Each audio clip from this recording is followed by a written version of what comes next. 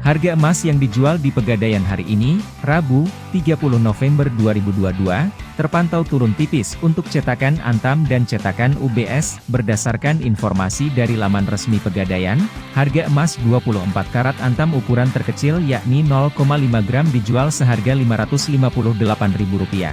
Turun Rp1.000 dibandingkan harga Selasa, 29 November 2022.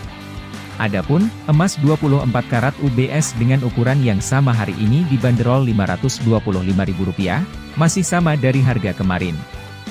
Emas antam 24 karat ukuran 1 gram hari ini dijual Rp1.012.000, atau turun Rp2.000. Sedangkan, emas 24 karat UBS ukuran yang sama dijual pegadaian seharga Rp983.000, turun Rp1.000 dari harga kemarin. Selanjutnya, harga emas 24 karat antam dengan ukuran 5 gram dibanderol Rp4.821.000, sedangkan cetakan UBS dengan berat yang sama dijual Rp4.820.000. Kemudian, harga emas batangan 10 gram cetakan antam hari ini dihargai Rp9.584.000. Sementara itu, harga emas batangan 10 gram cetakan UBS dihargai Rp9.589.000.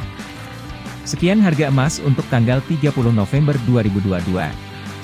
Untuk mendapatkan harga emas setiap hari, silahkan subscribe ke channel ini. Sampai jumpa di video berikutnya.